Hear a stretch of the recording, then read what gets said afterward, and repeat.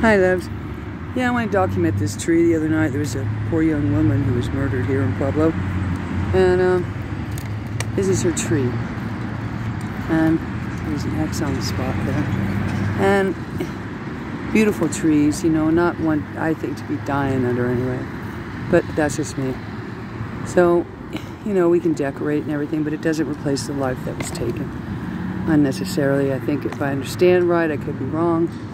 Uh, she was um, accidentally shot, um, you know, a crossfire or some crossfire hurricane, you know how that is. So, you know, it was a mess when we got here. The candles were all thrown, you know. But so Joseph and I cleaned it up, put that flag there because that's the state of the violence in the history of our country.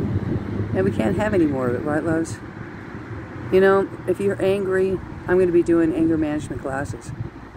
And, you know, we need to direct that energy into Taekwondo, Kung Fu, something where, you know, you can get that energy out and stop putting it into violence. There's other ways of doing things. It doesn't have to be so, you know, awful. There's Bez Bez. Bez Bez loves cheese. I mean, you know, it's been a good experience with the homeless kids here with, you know, Ty and Trey.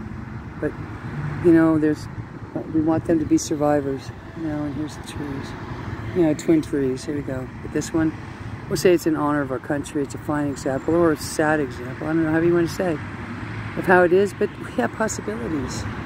We can rise above this dis-ease. And any dis-ease, really, with, you know, tools and harmonies and teaching and, you know, what to do with these energies of violence. You people are impatient. Impatient tip. Slow down, man. Enjoy the ride. Okay, ride her out. That's why we low ride. Enjoy the ride. Okay? Ride her out. Ride around, her out. Catch on the flip side.